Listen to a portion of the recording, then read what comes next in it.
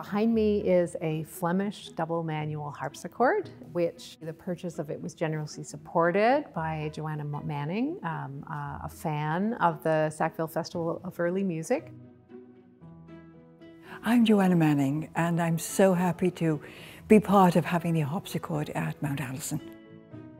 I was about nine years old when I first heard music, classical music, and it's been with me ever since. And we were delighted, as my late husband and I both love music, and just to find music here almost on our doorstep.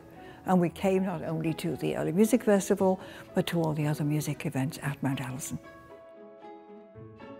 The biggest opportunity is that students now can practice and perform and experience music from over 200 years worth of repertoire um, with an instrument that produces sounds, creates a sonic world that is similar to that that was imagined by the composers when they created these pieces. So they can play a work by Bach on the harpsichord and realize like, oh, certain things work here, and can I transfer that to the piano? How would that inform that, that performance? So, so sonically, it, it sort of invites them into this, into this world.